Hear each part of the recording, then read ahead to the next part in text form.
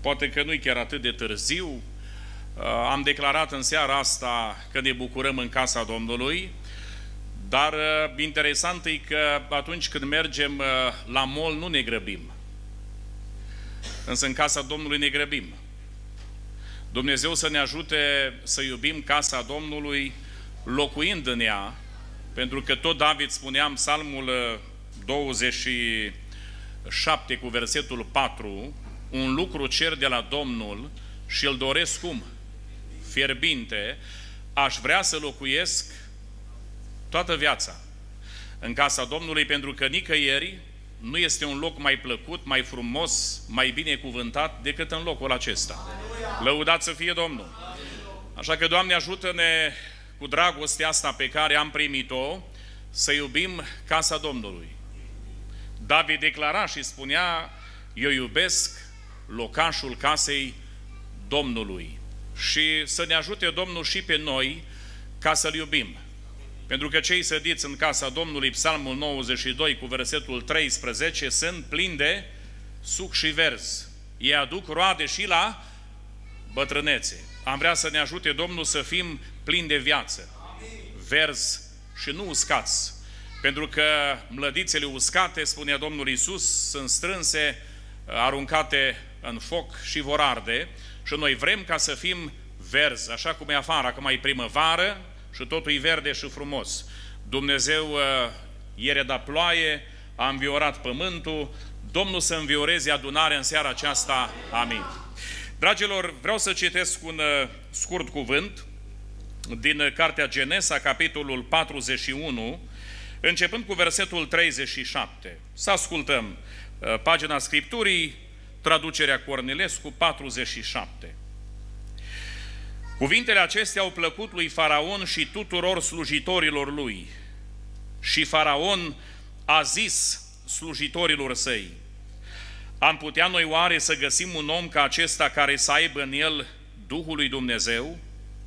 Și Faraon a zis lui Iosif, fiindcă Dumnezeu ți-a făcut cunoscut toate aceste lucruri, nu este nimeni care să fie atât de priceput și atât de înțelept ca tine. Te pun mai mare peste casa mea și tot poporul meu va asculta de poruncile tale. Numai scaunul meu de domnie mă va ridica mai presus de tine. Amin. Dacă toți suntem ridicați, cred că e bine să mai rostim și rugăciunea domnească Tatăl nostru, Așa că împreună cu toții plecăm capetele, închidem ochii și zicem Tatăl nostru care ești în ceruri, sfințească-se numele Tău, vie împărăția Ta, facă-se voia Ta, precum în cer, așa și pe pământ. Pâinea noastră, cea de toate zilele, dă-ne-o nouă astăzi și ne iartă nouă greșealele noastre, precum și noi iertăm greșiților noștri și nu ne duce pe noi în ispită, ci ne izbăvește de cel rău, căci a Ta este împărăția și puterea și slava în veci. Amin. Vă mulțumesc, vă invit să vă reașezați. Dacă toți amintea despre bucurie, cu multă bucurie am venit în uh, mijlocul dumneavoastră și pe toți care sunteți în locul acesta, spun din toată inima mea, Bunul Dumnezeu să vă binecuvinteze. Mă bucur uh, să-L cunosc și pe fratele Praizu, tot am auzit de dumnealui când am fost pe la Brașov, pe la fratele Ghica, apoi am ajuns prin Bruxelles, pe la Samuel, uh, tot mi-a vorbit despre dumnealui, n-am avut ocazia ca să ne vedem față în față, dar Dumnezeu rânduiește toate lucrurile. Dumnezeu a pregătit seara asta pentru că în viața noastră nimic nu e la întâmplare. Uh, Domnul are ultimul cuvânt și El face toate lucrurile frumoase la vremea lor, la vremea potrivită. Și pentru asta merită să spunem lăuda să fie Domnul. Când fratele Adrian spunea aici că pe aici, prin biserica Maranata de Măroi, au trecut predicatori și oameni mari, tari, cum se exprima el, M-am gândit să vorbesc în seara asta despre un om tare. Pentru că Iosif a fost cu adevărat un om tare. Și o să vedem ce caracterizează un om tare. Pentru că uneori tendința noastră, când vorbim de oameni tari, ne raportăm la situația financiară. Dacă stă bine financiar, dacă vine cu o mașină scumpă, ai văzut ce tare cu tare? E multimilionar, are proprietăți în Viena. cel tare. Vreau să vă spun că cei tare înaintea oamenilor nu-i neapărat tare înaintea lui Dumnezeu. A văzut o grămadă de oameni tari înaintea oamenilor, care de fapt au fost foarte slabi. Omul acesta a fost un om tare și uh, cineva spunea că este cel mai uh, puternic prototip al Domnului Isus. Nu există mai multe asemănări uh, cu niciun personaj din Biblie, așa cum este între Iosif și Domnul Isus. Sunt zeci de asemănări, însă cel puțin patru sunt foarte evidente. Prima asemănare, atât Iosif cât și Domnul Isus au fost urâți de frații lor. Imaginați-vă, spune Scriptura, că frații lui Iosif nu puteau să-i spună nici măcar o vorbă prietenoasă, bună. Când vorbim despre Domnul Isus, frații lui, neamul lui, l-au refuzat, l-au respins.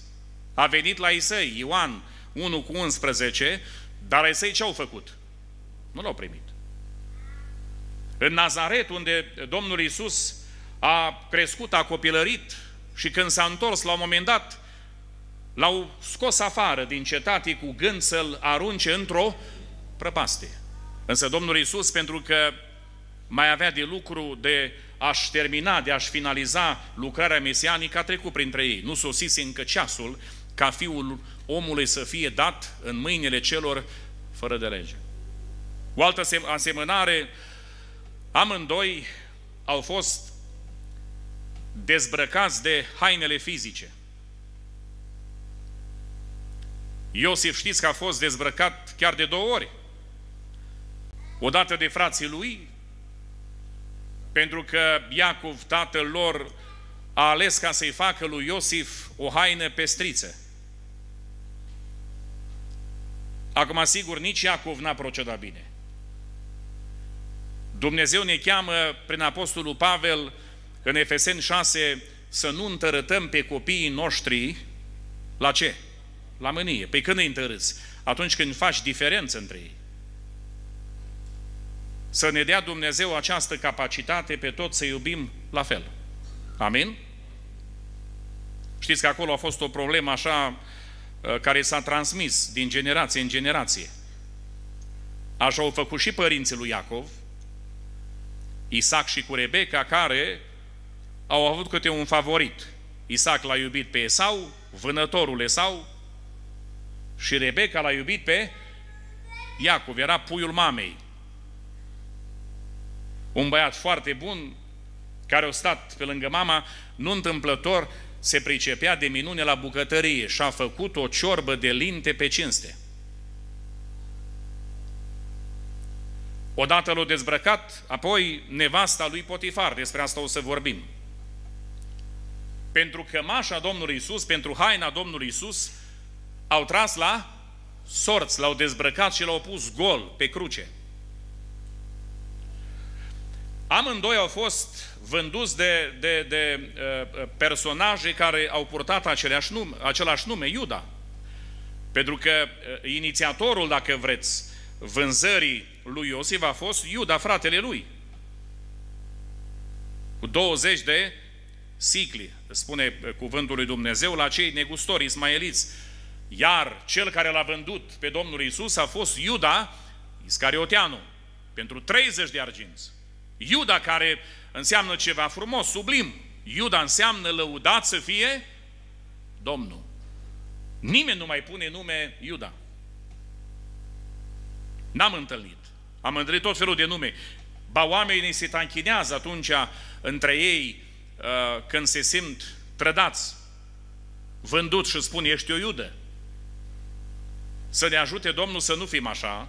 Amin? Să fim, să fim frați uh, sinceri în adevăratul sens al cuvântului. Și amândoi au fost salvatori. Bineînțeles, bineînțeles păstrând proporțiile.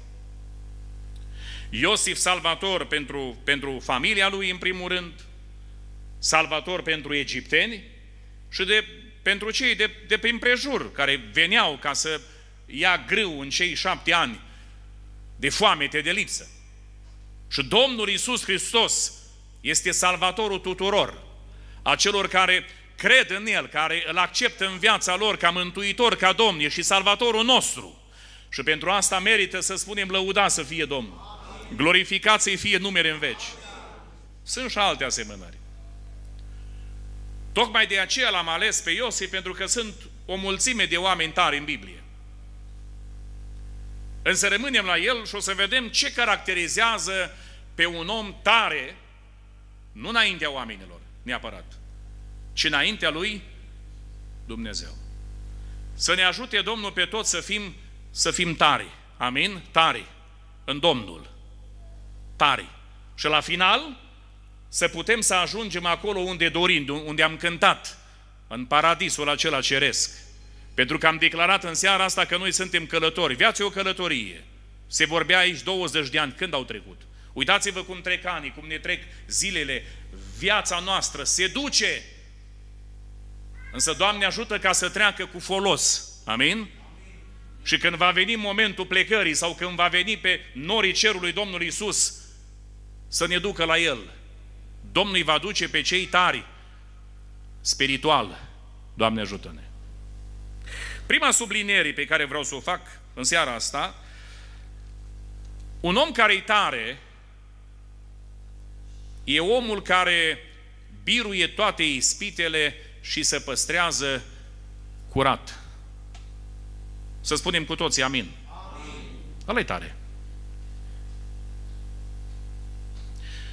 Se spunea aici de David, amintea și fratele Praizu, David n-a fost chiar atât de tare.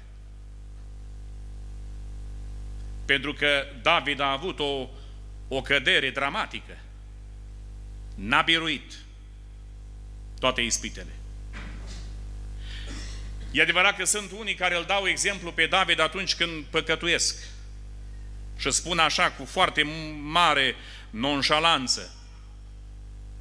Păi uite ce a făcut David, omul după inima lui, Dumnezeu și Dumnezeu l-a iertat ca să-și acopere mizeria din viața lor. Când a fost David om după inima Domnului? Când l-a ales de la oi. Atunci. Dacă în David n-a biruit ispita curviei, când a păcătuit cu Batșeba, n-a mai fost tare. N-a mai fost un om după inima lui Dumnezeu. Pentru că Dumnezeul nostru e sfânt. Dumnezeu e sfânt. Și Petru spune, pentru că cel ce v-a chemat e sfânt, fiți și voi sfinți. Și pentru ce a făcut David a suferit mult. N-aș dori nimănui să treacă prin ce a trecut David. În casa lui a fost viol. Amnon a violat-o pe Tamar, vă amintiți? În casa lui au fost crime. În casa lui a fost răscoală, răzvrătire, Absalom, care s-a răzvrătit împotriva lui David, a trecut prin niște lucruri grozave. Pentru că ascultați-mă ce vă spun, fiecare păcat trebuie ca să fie plătit într-un fel. Suportă consecințele, să știți asta. Dragilor, Iosif a fost ispitit. Gândiți-vă, ajunge vândut de frații lui în Egipt și merge în casa lui Potifar. E cumpărat de Potifar. Și Potifar realizează că de când este acest tânăr evreu în casa lui, totul îi merge cum? Bine. Pentru că vă spun ceva în seara asta. Copiii Domnului trebuie ca să fie purtători de binecuvântare. Unde te duci tu, Dumnezeu lasă binecuvântare. Știți că m-am dus undeva în America, într-o o familie unde erau probleme între soț și soție. Și am stat acolo o lună și ceva. Când am plecat spre România, îmi spunea respectivul frate, zice, ai fost o binecuvântare pentru noi, pentru casa noastră, ai adus pace, ai adus liniște. Sunt recunoscător pentru asta. Dumnezeu te-a folosit pentru noi, prin sfaturile pe care le-ai dat. Pentru că acolo unde te duci pașii tăi, trebuie ca să ducă binecuvântare. Așa era Iosif. Chiar și binecuvântare pământească. Te duci într-o firmă undeva. Dumnezeu lasă binecuvântarea. N-a fost o binecuvântare acea fetiță luată roabă în casa lui Naman? A fost sau n-a fost binecuvântare? Ce binecuvântare? N-a avut o gândire, cum spunea fratele Praizu, cum au foarte mulți penticostali. Când au văzut că ăsta îi bolnav lepră, să spună, îl trăznește Dumnezeu. Îi dă ce merită.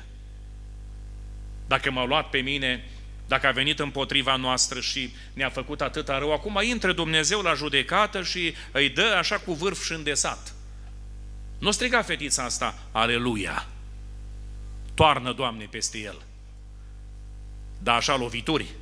Să simtă, ca să, ca să, ca să regrete. Nu, nu, nu, nu. Se apropie de nevasta lui și spune, dacă Naman s-ar duce în țara de unde m-a luat pe mine, acolo în Samaria, există un proroc. Îl cheamă Elisei. Și prin acest proroc, Dumnezeul nostru, Dumnezeul oștirilor, Dumnezeul cerului, face minuni, face vindecări, vindecă orice boală incurabilă, vindecă lepra, pentru, pentru că nimic nu e greu, prea greu pentru El. Dumnezeu nostru poate tot. Sigur că Naman pornește la drum, dar nu ține cont 100% de, de, de ce a vorbit Dumnezeu prin fetița asta. S-a dus el pe cale omenească, diplomatică, oficială, Până la urmă a ajuns la poarta lui Elisei și Elisei nu iese. Îl trimite pe Gehazi și spune așa, du-te și spune să se ducă la Iordan, să se scalde de șapte ori și va fi curat. Și ăsta se mânie, se supără. Pentru că el avea tiparul lui. El avea mofturile și pretențiile lui. Harul a fost mare pentru el, deoarece a avut alături un om înțelept. Un sfătuitor. Doamne ajută-ne să umblăm cu înțelepții, că Biblia spune cine umblă cu înțelepții se, se face și el înțelept sau mai înțelept. Și eu zis, dacă ți-ar fi cerut un lucru greu, nu-l făceai, dacă îți spune un lucru ușor, simplu, de șapte ori, nu ți-o spus de șapteci de mii de ori, de șapte ori, dă drumul. O intrat să în apă, parcă îl văd, se cufundă odată, când ies afară să uită, nici o pată nu a dispărut. Apă murdară, Iordanul, de aia și zis, nu avem noi ape curate în Damasc, Abana și Parpar, ce are Iordanul ăsta tulbur și murdar? O fi bombănind, o fi spus, v-am zis eu că nu se întâmplă nimic, nici măcar o pată, nici 10% și mai am șansă scufundării. Ăștia au spus, dă drumul la treabă. Și când s-a scufundat a șaptea oară, Că prima dată Dumnezeu l-o vindeca pe interior, o trebuie să-l, să-l vindece pe interior. Dumnezeu se ocupă de inimă, Dumnezeu se ocupă de suflet, așa lucrează Dumnezeu. După aia, Domnul are în atenție trupul. Și când iese a șaptea oară, pielea lui este curată ca unui copil. Dumnezeul nostru lucrează la clipită. Merită să spunem în seara asta, aleluia. Merită să spunem în seara asta, glorie Domnului. Este om schimbat și strigă cât poate, cunosc acum că nu-i Dumnezeu adevărat decât aici în Israel. Povestea e lungă, dar m-am gândit când ajunge acasă. Pentru prima dată, fără frică, își poate îmbrățișa soția, copiii, că nu le dă boală. Și cred că Naman o fi, o fi strigat, o fi spus să vină fetița la mine. Nu, știu, nu știm numele. Să vină fetița.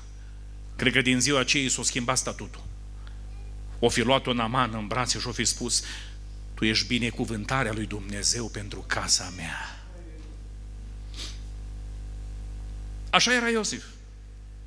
Numai că pe Iosif a pus ochii, la un moment dat, nevasta lui Potifar. Și se apropie și îi propune, îi zice, auzi, Iosife, culcă-te cu mine.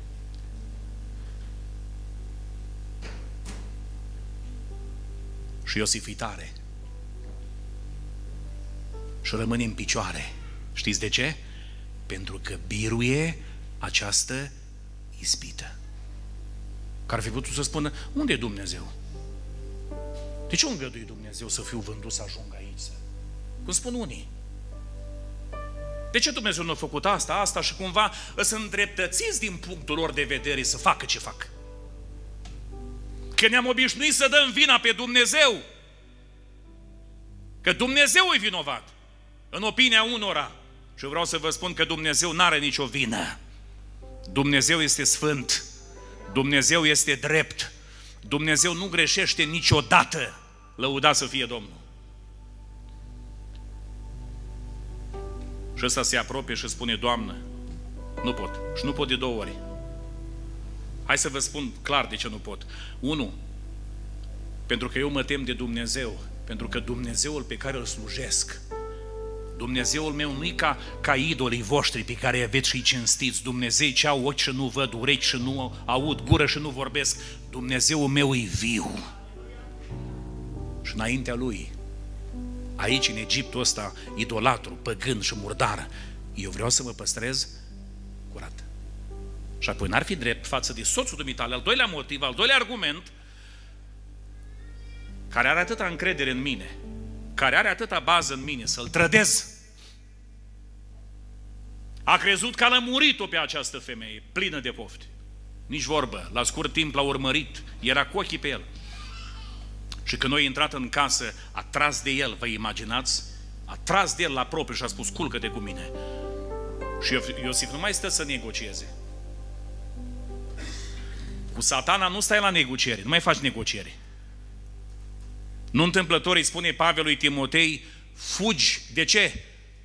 De poftele tinereți. Nu avem noi români un proverb, fuga e rușinoasă, dar cum e? E sănătoasă. Și lasă haina. Știți că haina aceea a fost folosită ca probă împotriva lui? Că dacă n-ar fi avut haina asta, mai greu îl acuza. Dar au ieșit ea și a spus, uitați-vă ce evreu ne-a adus în casă, uitați-vă, și arăta flutura haina ca probă. Nu a contat pentru Iosif ce zic oamenii. O conta pentru Iosif ce spune Dumnezeu. Pentru că Dumnezeu are ultimul cuvânt. Deși l-a dezbrăcat de haina aceea lui fizică și l-a aruncat dezbrăcat, gol, în temniță acolo, gol. El s-a putut închina înaintea Domnului să împlinească psalmul 29 cu versetul 2 care spune Închinați-vă Domnului, îmbrăcați cu ce? Cu podoabe sfinte.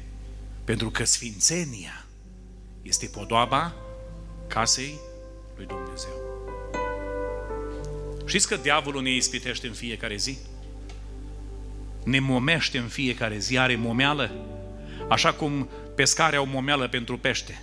Și când nu trage cu mămăligă, pun altă momeală. Pun, pun uh, grăunțe, porumb. Zice, bă, trebuie să schimbăm momeala, că nu trage la asta. Știți că așa e satana, are momeală pentru toți? Că tot vorbeam de Naman, de, de vindecarea lui. Naman, după ce iese din, din apă și se vede curat, sănătos, se duce la, la Elisei bucuros. De data asta iese și Elisei la poartă. Și-a adus cu el o grămadă de lucruri. a adus talanți de aur, de argint, haine noi și a spus, totul îți dau.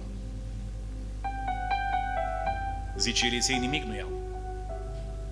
Pentru că nu eu te-am vindecat, nu eu am făcut ceva. Dumnezeu te-a vindecat. Și vindecarea nu-i pe bani. Că Dumnezeu tot ce dă, ne dă în dar. Lăuda să fie Domnul. Lăuda să fie Domnul. Numai că pe faza acolo era Gehazi. Ce s-a întâmplat cu Gehazi? L-a ispitit diavolul. Nu a fost tare o fi spus, mă, cum să lași pe ăsta plin să vină încărcat și plin să se ducă? O plecat după el și minte și inventează minciuni. Pentru că un păcat va aduce alt păcat. E lanț. Verigă după verigă. Eu stau, vreau să vă, să vă întreb altceva. Nu știa Gehazi ce proroc Elisei? și că va fi dat pe față? Dacă nu birui ispita și vine păcatul, știi ce face păcatul? Ia mintea omului. Ăsta nu mai e judecat, n-a mai fost lucid. Te întreb, cum a făcut mă ăla? Eu luat, eu luat satana mințele, de asta a făcut. Că ar fi trebuit să știe ce proroc este Elisei, că Elisei nu spunea versete din Biblie.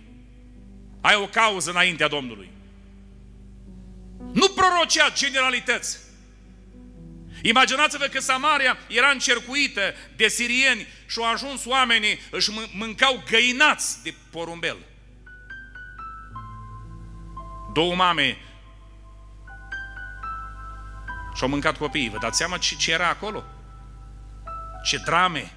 Și împăratul dă vina pe, pe Elisei oarecum, că oamenii lui Dumnezeu îți de vină. Și iese cuvânt profetic, mâine la poarta cetății va fi belșug. Și spune acolo o măsură de grâu, se va vinde cu un ciclu, măsură de orz.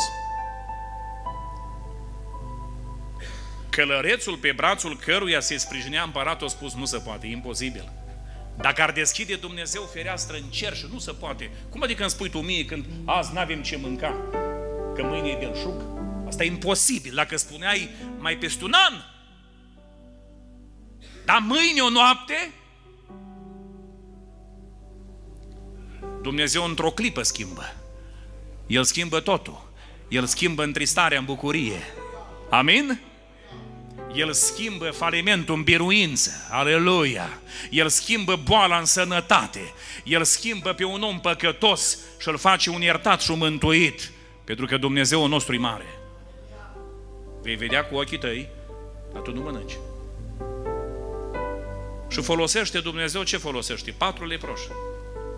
Știți că uneori Dumnezeu folosește oameni la care noi nici măcar nu ne gândim. S-a întâmplat ce-a vorbit Domnul prin Elisei? Așa s-a întâmplat. El a văzut cu ochii la poartă belșugul, dar nu a mâncat. L-au călcat oamenii picioare. Și alte lucrări la care au fost martor Gehazi. Da, l-a birui satana și i-a luat mințele. Dragilor, de ispită n-a scăpat Domnul Isus. Căci nu avem un mare preot. Nu? Spunea acolo autorul epistolei către evrei. Un preot care, care a fost ispitit ca și noi, un mare preot în toate lucrurile, dar diferența este fără păcat, pentru că el a fost tare. L-a biruit pe satana și nu numai atunci când a fost ispitit, după ce a postit 40 de zile și 40 de nopți, l-a ispitit în permanență. Prin cine? Prin farisei, care doreau să-l prindă cu vorba. Vă amintiți când au venit cu temele făcute și au zis ei, hai să, să-l punem la test, să-i punem o întrebare cu două variante de răspuns. Și orice răspunde, să-l prindem. Dacă răspunde cu varianta A sau B, să-l prindem, să cadă în cursa noastră. Și-au venit ei și au spus, învățătorule, se cuvine să plătim noi bir cezarului? Ia spune tu. Așa că mă așteptau. Dacă spune se cuvine, a, înseamnă că tu ești cu romani, nu ești, nu simți cu noi. Dacă spune nu se cuvine, păi atunci mergem și spunem că ăsta instigă masele ca să, să nu plătească, să nu mai respecte la rebeliune. Orice răspuns dă, cade azi. Mă că nu știau ceva, că în fața lor nu era un om, era Domnul Domnilor, care are și varianta 3, are și varianta 4. El întotdeauna are soluții. Și eu văzut, domn, băi, fățarnicilor, ale, ale, ale cui slove și, și chip sunt imprimate pe, pe monedă, ale cezarului. Dați cezarului ce este a lui, ce îi se cuvine, dar dați lui Dumnezeu ce este a lui Dumnezeu. Lui ispitit prin Petru când a vorbit, vă amintiți? Despre sfârșitul lui, că trebuie să fie prins în Ierusalim, să moară. Și a zis Petru, să te ferească Dumnezeu să ți se întâmple așa ceva. Ce spune Domnul Isus? Înapoi a mea, satanul. L-a ispitit când era pe cruce, prin trecători, prin tâlhari, prin toți, care îi spuneau, dacă ești tu Fiul lui Dumnezeu, pentru că totdeauna diavolul pune sub semnul întrebării identitatea Domnului Isus. Dacă ești tu, dă-te jos de pe cruce acum. Dă-te jos, coboară, smulge cuiele. Ar fi putut să coboare Hristos? Da, într-o clipă. O cântare spune, cuiele nu te-au ținut pe cruce. Puteai atât de lesne să cobori, dar l-a ținut ceva. Dar dragostea ta pentru omenire te-a pironit pe cruce. Te-ai gândit la noi, s-o gândit la noi. Își va vedea o sămânță de urmaș, un popor care să-i poarte numele. Lăuda să fie Domnul. E un popor aici, un popor la, la Tofle, la Suceava. În lumea asta, peste tot, Dumnezeu are mărturie. Glorificat să fie Domnul. Așa că, dragilor, ispitiți vom fi și noi mereu. Să ne ajute Domnul să fim tari. Unde ești mai slab, acolo te. Știți că diavolul uneori te ispitește, e bucuros numai la nivelul de vorbire. Dacă spui o vorbă, un cuvânt nepotrivit, el se bucură. Țin minte că eram într-o zi în, în Suceava și m-a ispitit satana și am căzut și eu te- testul. Era o aglomerație, cum e vara în august, când vin românii din diaspora și pe o serpentină, în fața mea mergea unul cu o dacie de asta veche, ruginită, papuc. Dar mai mult, cum să spun eu, când în față, când pe loc, așa mergea în șucuri. Și la un moment dat s-a oprit. O pus pe avarii, acum nu puteai să-l depășești pentru că venea coloană din partea aia. Și satana a fost acolo și m-a ispitit. Și a zis, zi ceva la ăsta. Și am zis, cine te-a pus, mă, să ieși cu rabla asta, cu vechitura asta de acasă, mă, să blochezi drumul? Au fost unii care s-au dat jos, l-au împins pe om, l-au scos vreo 4-5 metri în afara carosabilului.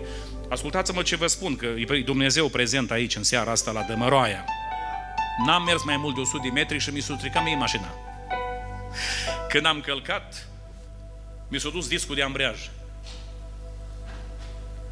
O trebuie ca să blochez eu acum circulația, să sun, să vină să mă tragă, să mă ducă la service. N-am stat mult. 10 minute ăla cu papuc o trecut pușcă pe lângă mine. Că l-a dat ce mai mult de un patent și o sârmă nu trebuie. O fi suflat de două, trei ori, nu știu ce a făcut. Și-a zis Dumnezeu, vezi, pocăitule, când ai vegheat? Vezi? Că treaba ta nu era să-l judici cu omul ieșit de acasă cu ce a avut, că dacă avea mașină nouă, cu aia nouă ieșea. Treaba ta era să fii samaritean, să te duci la el, să-l ajut, să-l scoți, să spui, mai aveți nevoie de ceva ajutor? Băi, când văd câte unul acum pe dreapta, nu mai judec sau în față. Vă pot ajuta cu ceva? Că dacă nu, la 100 de metri se strică mașina. Dragii mei, ne ispitește, diavolul ne știe vulnerabilitățile. Unde ești slab? Îți plac bani, acolo te ispitește. Ești slobod la gură, acolo te ispitește. Unde ești slab? Acolo vine și te ispitește. Doamne, ajută-ne să fim tari, să biruim toate ispitele. Undeva Iacov spune, Iacov capitolul 1, versetul 12, ferice de cel care rabdă sau biruie ispita, căci după ce va fi găsit bun, va primi ceva, ce va primi? Cununa vieții. Dumnezeu nu are cununi pentru un frânz, pentru un vinș, ci doar pentru biruitori. Doar celui ce va birui, îi voi da dreptul să mănânce din pomul vieții. Amin? Doamne ajută-ne, Doamne binecuvintează-ne să biruim toate ispitele, ca și Iosif, și să rămânem în picioare. 2. Cum arată omul tare? Deci biruie ispitele și se păstrează curat. În al doilea rând m-am uitat la el. E un om care acceptă voia lui Dumnezeu chiar dacă nu o înțelege. Știți că noi cântăm o cântare, voia ta, nu voia mea, să se facă, Doamne, în viața mea. Ce a vorbit Dumnezeu lui Iosif? Prin vise. Vă amintiți că a avut niște vise? o visat 11 stele, soarele, luna, nu? După aia un vis cu snopii, erau la, la secerat și snopii se închinau în fața snopului său. Adică visele astea tălmăcite de Iacov, care au venit de la Domnul, reieșea clar că într-o bună zi frații lui vor ajunge ca să se închine lui. Și iată că dintr-o dată, în loc să se întâmple asta, după ce că se păstrează curat, Iosif ajunge în temniță, unde stă vreo 12 ani. Cât stă, frate, praizul? Cam așa, da? Aproximativ. Nu era o condiție la pușcărie ca să ai pachet pe lunar, să ai nu știu ce drept la vizită. Era o groapă, de fapt, temnița atunci. Șobolani, nespălat, flămând probabil. Unde-s, Doamne, promisiunile Tale? Știți că uneori voia lui Dumnezeu nu o înțelegem? Zice Apostolul Pavel în Romani 8 cu 28, de altă parte știm ceva. Ce știm? Că toate lucrurile lucrează împreună spre ce? Spre binele celor ce iubesc pe Dumnezeu. Și Pavel când spune asta, o spune din viața lui, din experiența lui, pentru că în fapte în capitolul 16, după ce merge acolo și eliberează o femeie, o slujnică ce avea un duc de ghicire, îi bătut cu nuiele și băgat cu picioarele în butuci. Și ar fi dorit să meargă în alte cetăți, în Bitinia, de exemplu, însă Duhul Sfânt nu le dă voie. Nu s-a dus de capul lui în Macedonia, a, a, a avut o vedenie, o revelație, un, un bărbat care făcea semn cu mâna și spunea, treceți la noi în Macedonia și ne ajutați. Pentru ce, Doamne? Pentru ce ai îngădui să venim aici? Ăsta e planul tău, să fim bătuți, să fim chinuiți, să fim cu picioarele în butuci? Pe la miezul nopții, Pavel și cu Sila ce au făcut, spune Biblia? Au început să se roage, să se închine și să cânte cântări de... Vă spune ce au făcut. Au evangelizat pușcăria în condiții speciale. Aleluia! Bă, și interesant că nu cântau cântări de jale, nu cântau cântări de, de, de, de astea de întristare, cântau cântări de bucurie, cântau mare este Domnul și vrednic de laudă. Aleluia! Trăiască Domnul! Domnul nostru e Domnul minunilor! El face lucrări mari! Domnul e în control! Și cei din pușcărie toți îi ascultau. O făcut Dumnezeu lucrări mari? Cu tremură Dumnezeu, temnița cad, lanțurile butucii, temnicierul realizează că toate ușile sunt deschise, e gata să își ia viața și Pavel spune să nu-ți faci niciun rău, că nu pleca nimeni, toți suntem aici. Aici s-a prezentat Dumnezeu, aici e evangelizare, aici e puterea lui Dumnezeu. El n-a crezut. A luat o lumină, o torță, a numărat câți erau în, în custodia lui. Și când a văzut că niciunul nu a plecat, o înțeles că acolo e minune dumnezeiască, a căzut jos în genunchi și a spus, domnilor, ce trebuie să fac ca să fiu mântuit? Crede în Domnul Isus. Și vei fi mântuit tu și casa ta.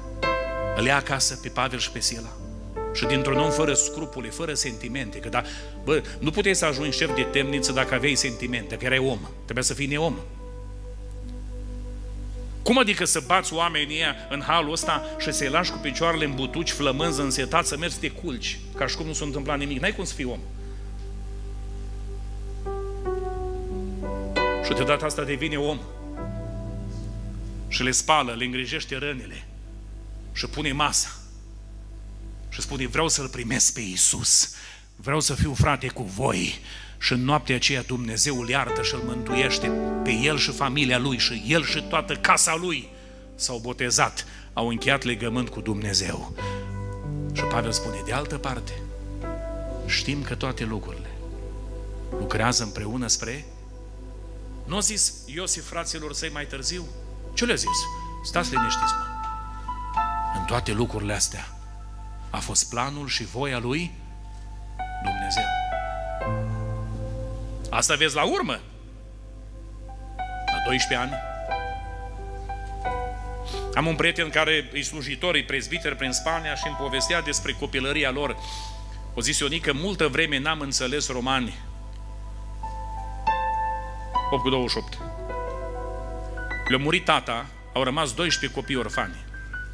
Niciunul nu era, nu era căsătorit. Să spui că ai un frate mai mare, o soră care... Am rămas cu mama. Erau anii 80, criză, stăteai la rând pentru pâine. Trebuia să iei pasărea din curte sau ce aveai ca să primești o sticlă cu ulei. Totul la rație. Vă amintiți cei care aveți vârsta respectivă, care a trăit pe acolo. Și sursa de hrană pe care o avem era o vacă. Mâncam lapte dimineața, la mea, seara, sub diferite forme, cu mămăligă. Așa era.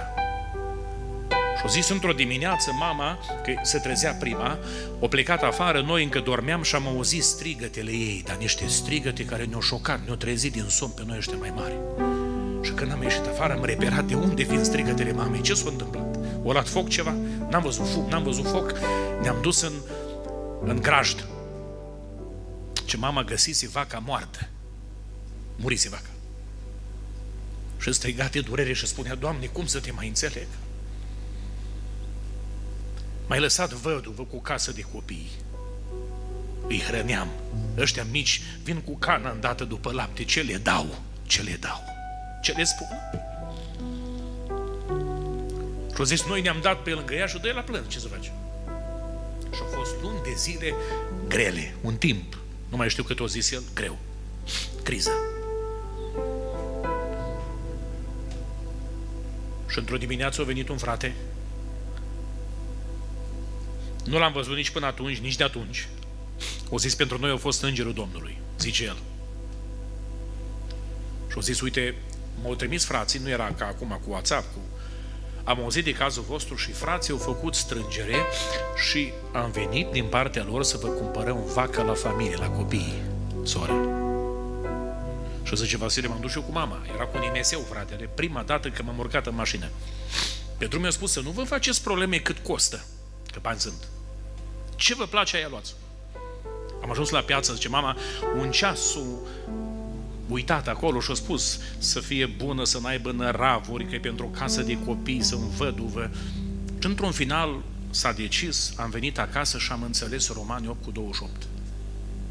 Și dacă cea care murise era bătrână, luam de la ea 13, 14, 15 litri de lapte, de la asta luam 30 de litri de lapte pe zi. Era tânără.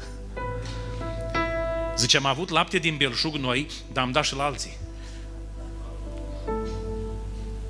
Și am înțeles că toate lucrurile lucrează spre binele celor cel iubesc pe Dumnezeu.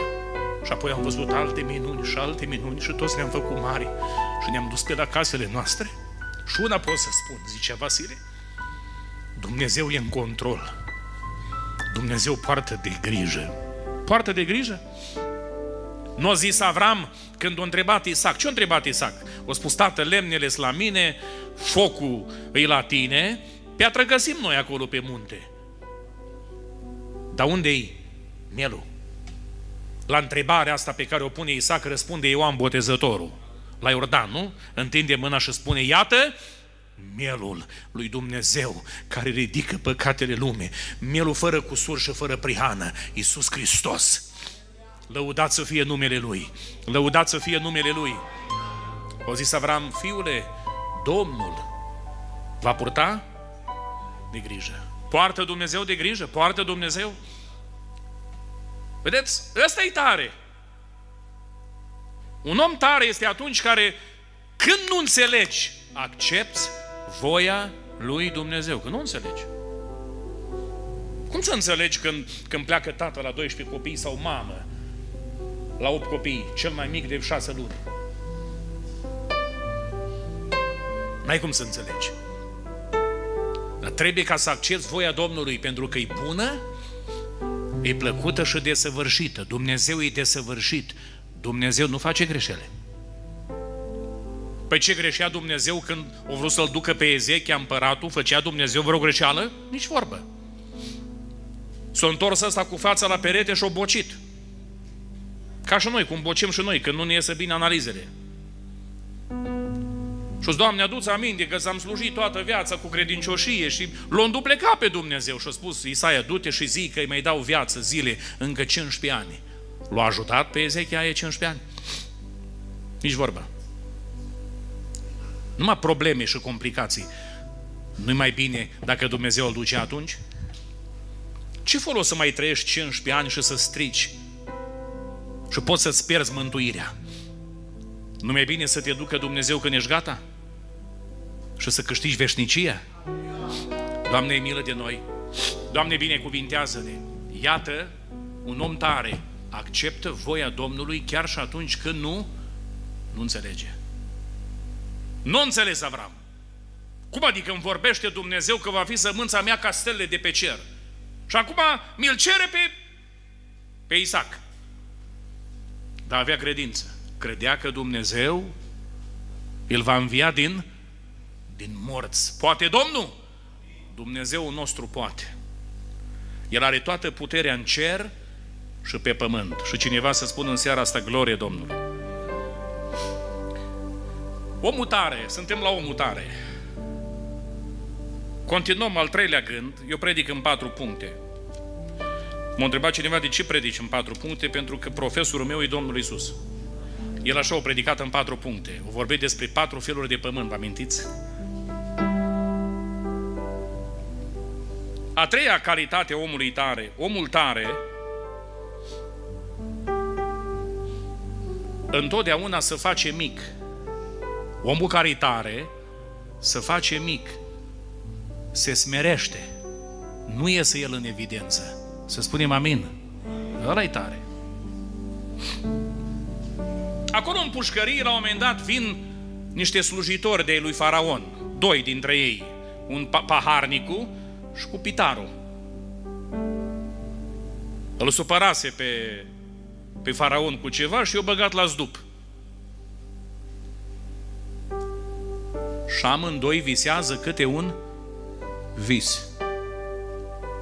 Și spun, bă, ce visuri am avut, o zis ei. Și Iosif le tălmăcește visele. Vă spun ce eu ce înseamnă. Uite, e vorba de trei zile. Tu, paharnicule, vei fi scos afară și pus în slujba împăratului, vei turna vin în pahar, iar tu vei fi omorât. Dar îi zice la paharnic, auzi, când o să fii în slujbă, o să pune o vorbă bună, adu-ți aminte. Bă, m-am gândit că noi, penticostalii, cu ăla semănăm. Ciudat suntem. Când în mod normal ar trebui să avem memorie bună.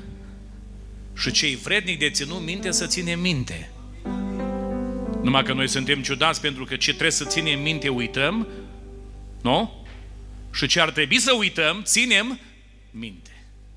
Zice, frate, l-am, l-am iertat. L-am iertat că n-au trebuit să iau din cina Domnului, că eu spocăit. Dar ce mi-au făcut pe 7 septembrie 1997, nu uit până mor, că tare m-a jignit. Păi nu iertare. Dacă n-ai uitat, Dumnezeu a uitat tot trecutul nostru. Nu ne mai le aduce așa în ochi. Băi, ai fost drogat, ai fost cu tare, ai fost cu... Na, na, na, na. Ăla a uitat. Și-a adus aminte când o visat faraon. Visele acelea cu vacile grase, frumoase, urâte și cu spicele. Abia atunci, așa. Dar până atunci nu. Și aduce aminte și spune, o, păi, e un evreu acolo, care atunci când am visat eu cu pitarul, ce-o zis el, așa s-a întâmplat. El e potrivit. Aduceți-l afară. L-a scos, l-a spălat, i-a făcut baie, l-a barberit, așa l-a făcut fresh, l-a îmbrăcat și l-a adus la, la faraon. Și uitați-vă aici dialogul. Vreau ca să citesc cuvântul lui Dumnezeu.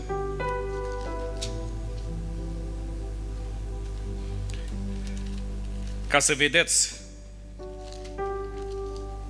cum este, cum este uh, sau care este, dacă vreți, atitudinea acestui om tare. Genesa, capitolul 41, de la versetul 15. Uh, Faraon a zis lui Iosif, am visat un vis, nimeni nu l-a putut tălmăci și am aflat că tu tălmăcești un vis îndată după ce l-ai auzit. Iosif a răspuns lui Faraon, nu eu. Dumnezeu este acela care va da un răspuns prielnic lui Faraon, nu eu. Eu sunt mic. Există altul care e mare și ăsta e în ceruri. E Dumnezeu ce stă mai sus de stele și ține totul prin al său cuvânt. El le-a creat și a pus viață în ele, în tot ce este în cer și pe pământ. Din el, prin el și pentru el sunt câte lucruri? Toate. ăla tare. Care nu iese în evidență.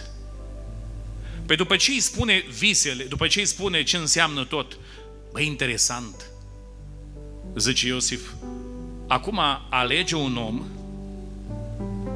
alege un om înțelept, priceput, care să fie în stare în cei șapte ani de belșug să strângă rezerve. Nu zis, eu să la. Altă variantă n-ai. Dacă eu ți-am spus visele, dacă eu am făcut, adică trebuie să fiu numărul unu. Nu, nu, nu. Zice, alege, alege unul, un om capabil. El întotdeauna s-a văzut mic. Și unde am putea noi să găsim un, un alt om plin de ce? De Duhul Sfânt, de Duhul Domnului. Când ești plin de Duhul Sfânt, nu te lauzi. Spuneți amin. Mă uit așa la unii care fac câte un pic de școală și vor să iasă în evidență. Păi poate știi multe. Nu e o aluzie la fratele Praizu, Doamne ferește. Dar am văzut băieți tineri, au făcut pe, pe la București, pe aici câte un seminar și merg pe la țară și așa cu mândria, cu aroganță, astăzi vreau să predic despre viitorul escatologic și niște cuvinte să uită bătrânii. Ce-a spus tu? De cu tremure ăsta, ce-a zis? De... Dragoste incomensurabilă și termeni. Mă, fi natural, mă. Nu a zis Pavel cu iudeu m-am, m-am făcut asemenea iudeului, cu grecul m-am făcut asemenea lui, nu? Dacă te duci într-un... Ce, cui vrei să răstu? Ce important e să fim oameni, să nu arătăm cine suntem noi. Smeriți. Se vorbea aici de Ioan Botezătorul. Știți de ce a fost cel mai mare om? Că Domnul Isus a spus, născut din femeie, pentru că știu să se facă cum? Mic. Au venit ucenici și au spus, cel pe care tu l-ai botezat Iisus, botează el în partea alte Iordanului și îi bai învățătorului. Care-i baiul? Tot se duc la el. Cu alte cuvinte, ai rămas șomer și tu și noi pe lângă tine. Ia atitudine, ia poziții, fă ceva. Și-o zis Ioan, omul nu poate să primească decât ceea ce este dat de sus de la Dumnezeu. Chiar dacă o veni după mine, el înaintea mea. O veni vremea că eu să mă fac mic, să mă micșorez și el să crească. Câți ai crescut pe lângă tine? Un slujitor adevărat crește alți slujitori. Amin? Mai văd câte unul care să mă și plânge așa în adunare, are șapte și ceva de ani și el e cu cina, tremur așa, așa face cu tava. Trebuie să vină doi, trei să-l sprijinească și să mai plânge. Zice, zice frate, frate, Ionic, am rămas singur, zice. Serios? Dar în 40 de ani. De ce n-ai promovat oameni, diacon, prezbiter după dumitale? Apoi, frate, n-am avut. Dar cum n-ai avut? Că am văzut că l-au dat un îndemn bun la rugăciune. L-au dat un îndemn bun. Apoi, tinerii și n-au experiență, nu scăliți. Dar câți ani are la? 48. Și la cât? 52. Și când îi ordinez? La 65?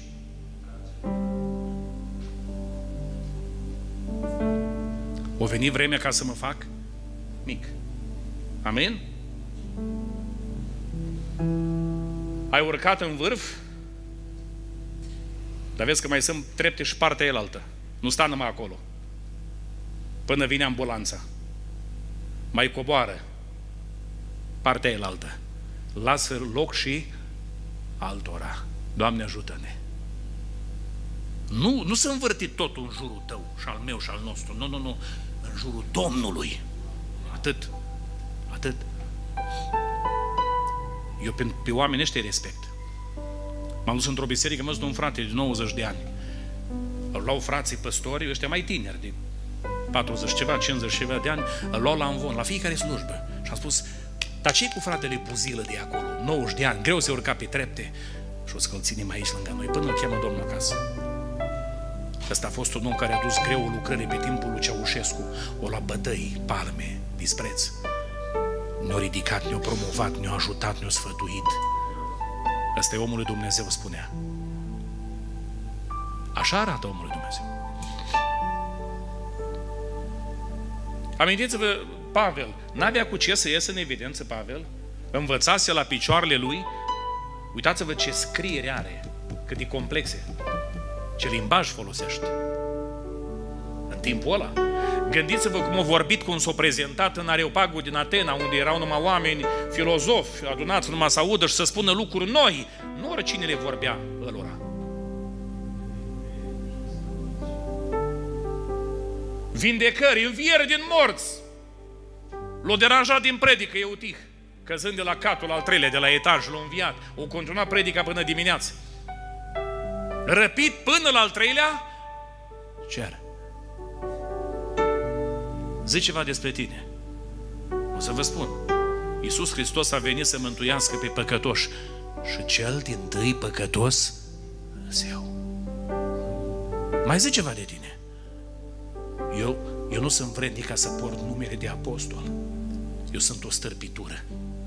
Pentru că am prigonit biserica Domnului. Cine ești tu?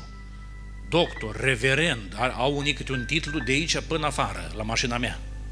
Ferească Dumnezeu dacă nu-l spui tot. E ofensat.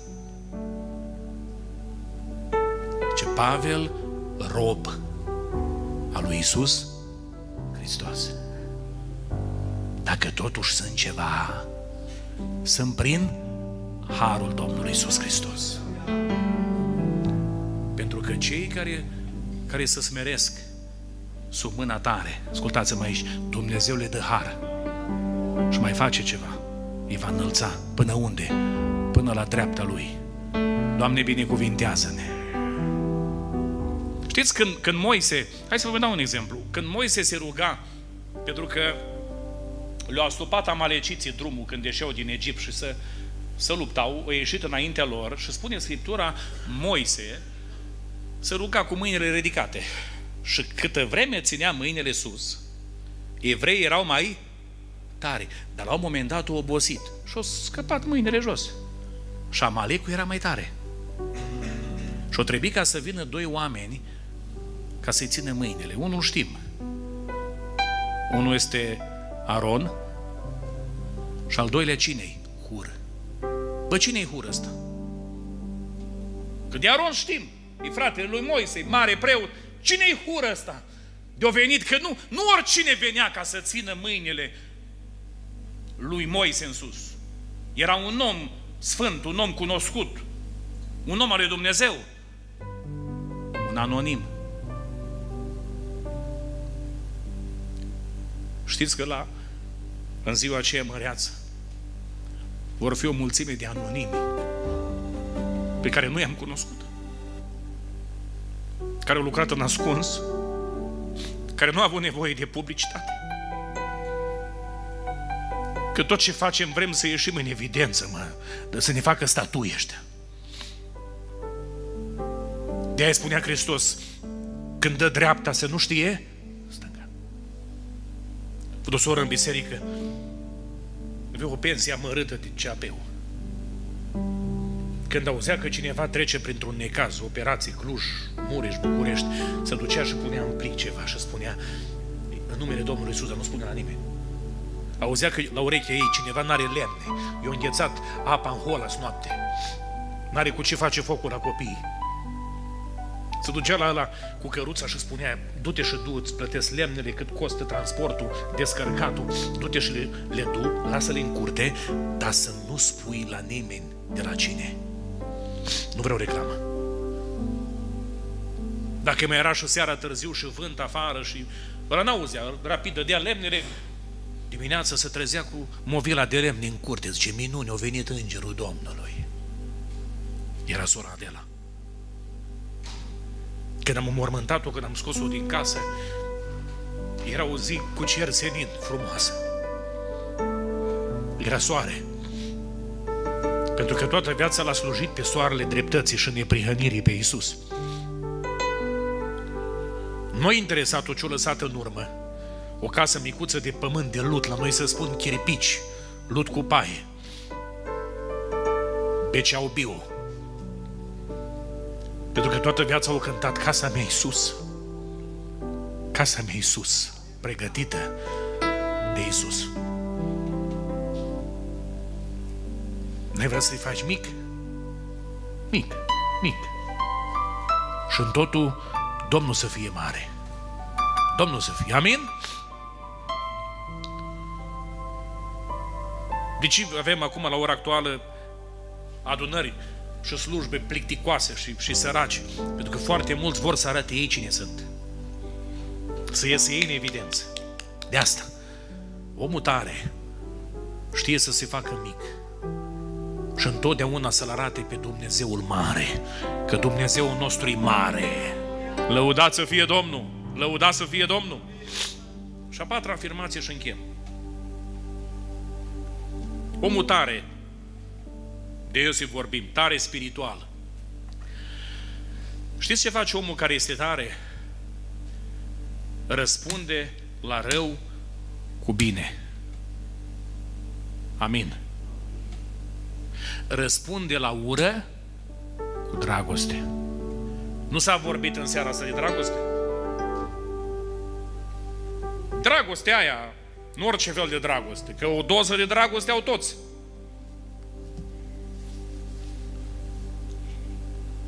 Vă imaginați acea zi dramatică când l-a vândut frații lui, să te vândă frații tăi? Bă, frații tăi să te vândă?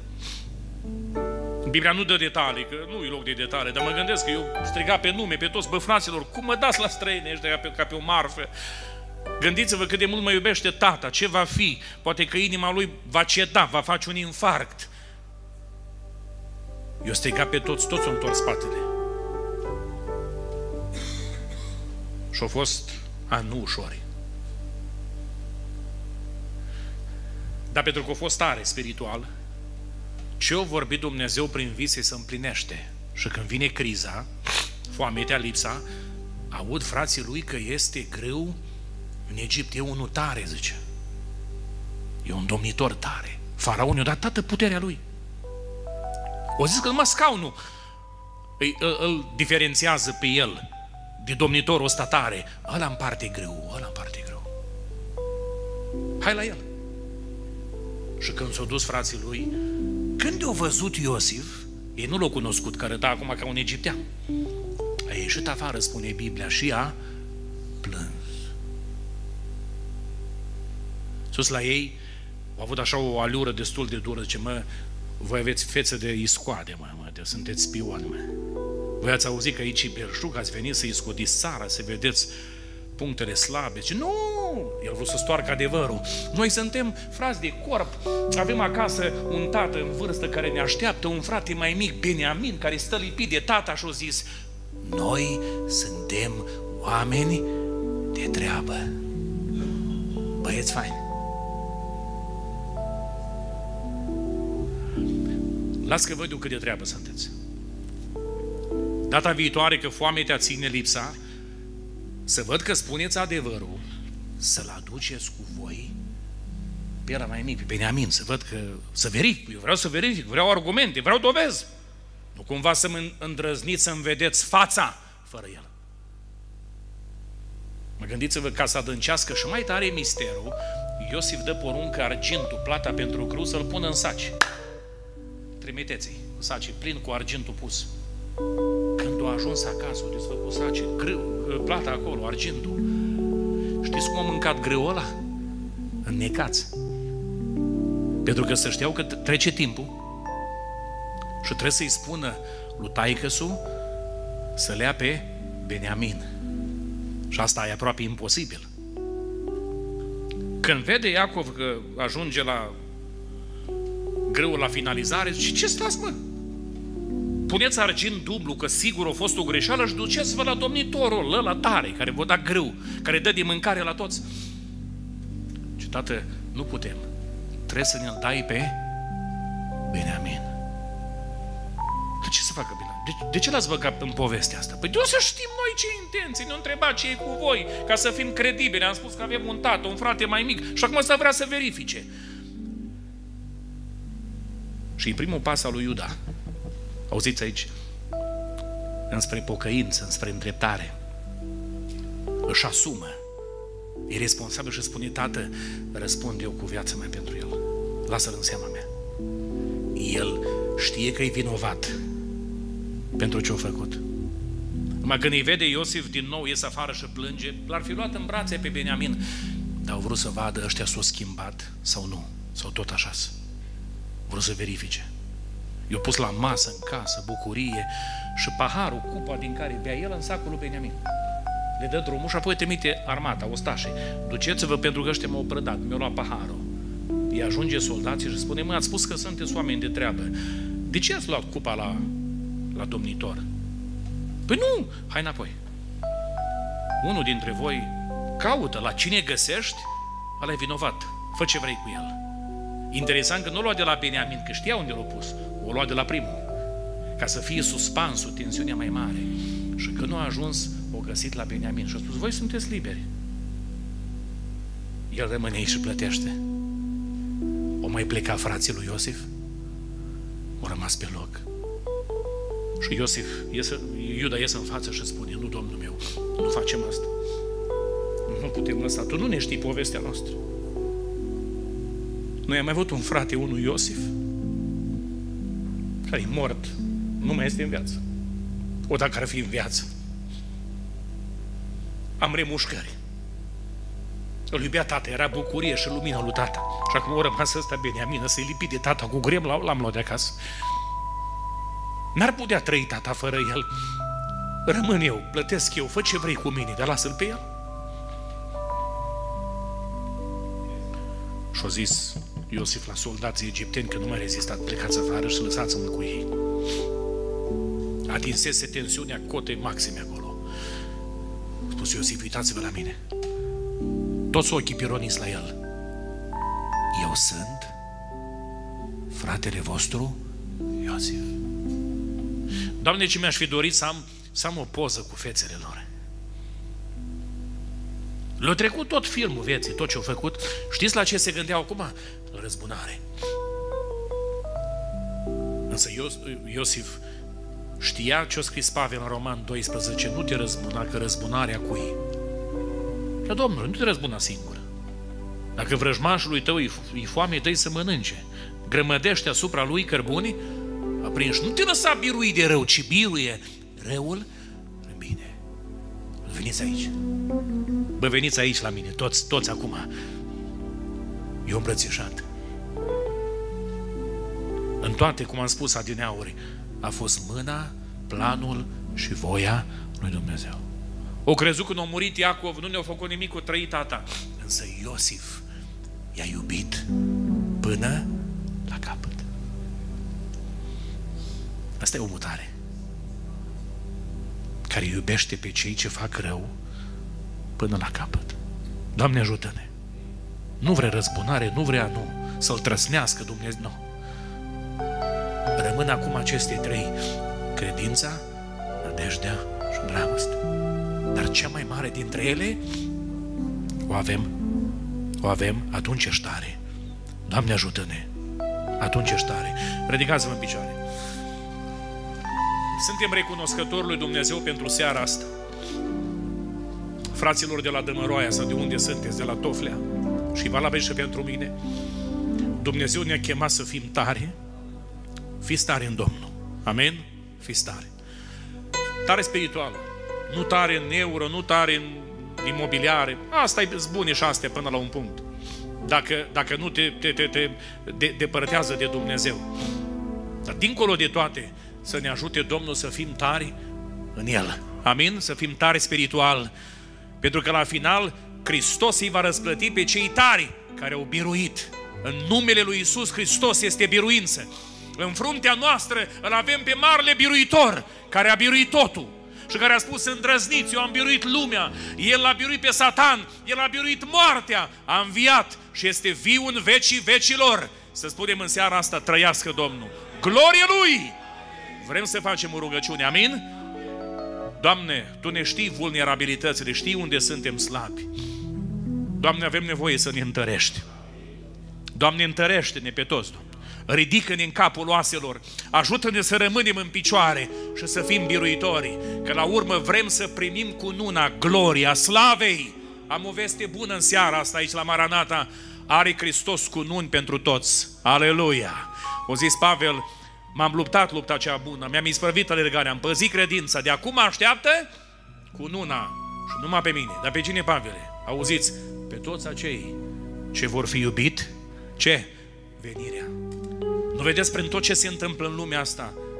Mesajul, semnalul e clar. Vine merere pe nori.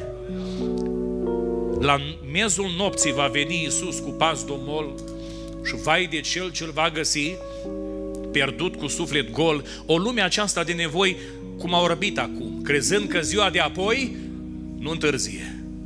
Fiul omului va veni în ceasul în care nici nu vă gândiți. Unde-s gândurile tale? Unde-s?